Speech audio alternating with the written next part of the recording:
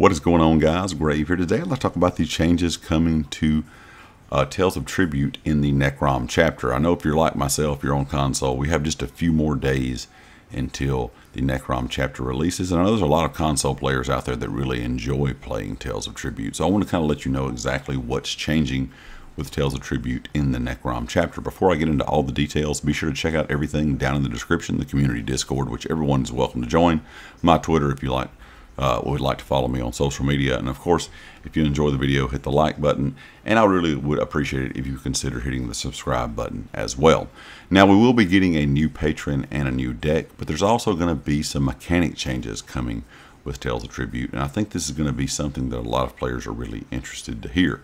First of all, the first new mechanic they're adding is an agent that will allow you to take any card in your opponent's cool uh, in your opponent's cooldown and hold it hostage until that agent is removed from play.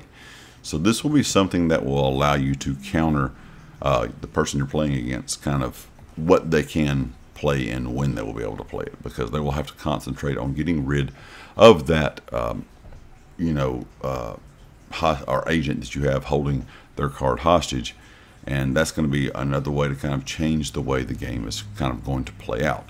The second mechanic they're adding is a, a, something to allow you to discard less useful cards from your hand in exchange for potentially drawing a better one. You're not going to have a guaranteed chance, but if you have one of those hands where you just kind of know that it's not going to play very well the further uh, into the game you get or the longer the game goes on, you can get some of those a little, little less useful cards and maybe get a chance to draw a really good card. And the third mechanic is something that will allow you to look at the top few cards of your opponent's deck and place up to one in their cooldowns. The more this patron favors you, the deeper into the deck you get to look, but the ability cost rises as well.